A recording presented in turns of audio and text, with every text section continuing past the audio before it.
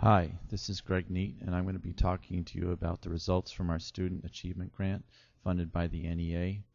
And this was uh, intended to build a hybrid go-kart. We did all this work in our tech shop at our school, which is a place where we teach students how to apply knowledge that they've attained from their core math and physics classes to solving real-world problems. And again, the problem we were going after was to build a hybrid go-kart we broke this problem down into two parts. We first had the students design and build what we called mini hybrids. These were small six inch cars that would allow them to learn the basic vocations needed to make the full scale hybrid.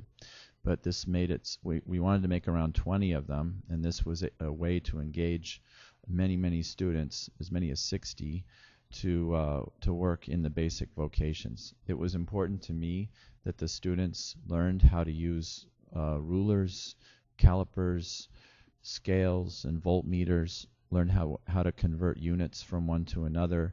And buried in here are the core math, some of the very important core math standards. The uh, basic vocations included welding, uh, using a drill press, uh, milling, uh, measuring, cutting with a bandsaw, and then the pieces would all have to get integrated together.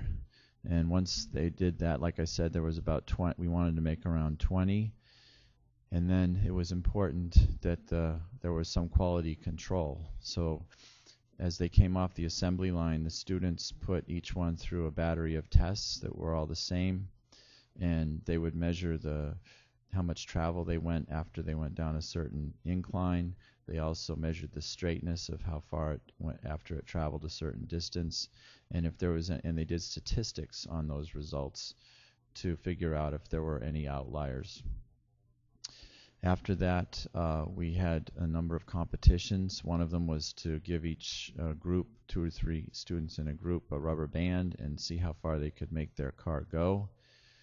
Uh, that was both entertaining and very educational.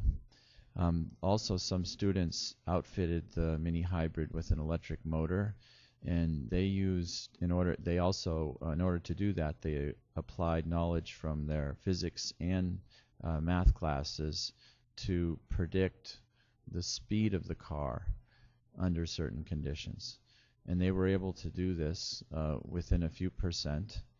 And this knowledge, as well as the knowledge from all the previous uh, vocational work, uh, went into the design and build of the full-scale hybrid. So uh, at the outset of that, uh, the transition between the mini hybrid to the full scale, the students decided they really wanted to do the whole thing. We toyed with the idea of purchasing an old golf cart and focusing on the trade-offs between the gas and the electric, but they really wanted to build the entire thing. So in order to do that, they needed to understand the steering mechanisms, so they did some prototype work in that area.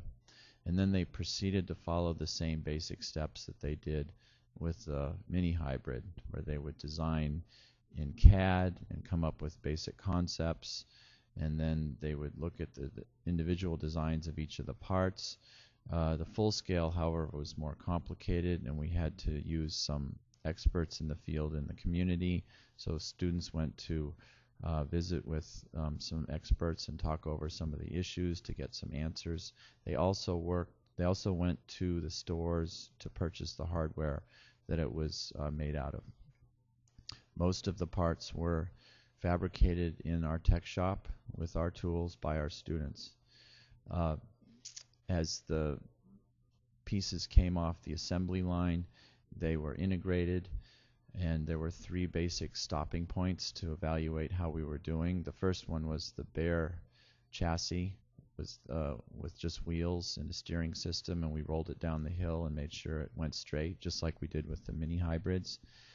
And then uh, the second integration point was uh, testing it with the gas engine. It was a six and a half horsepower a souped up lawnmower engine.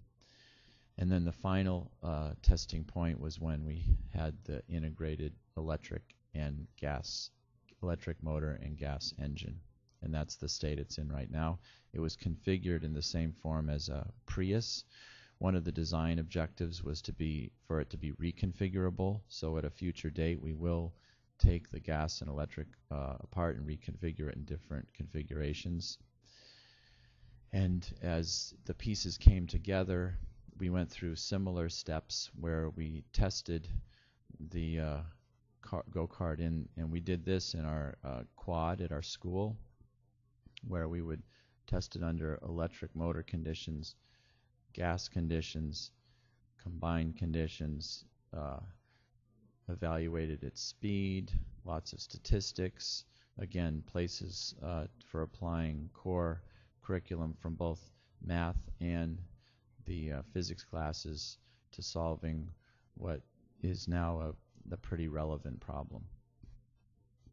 Wow.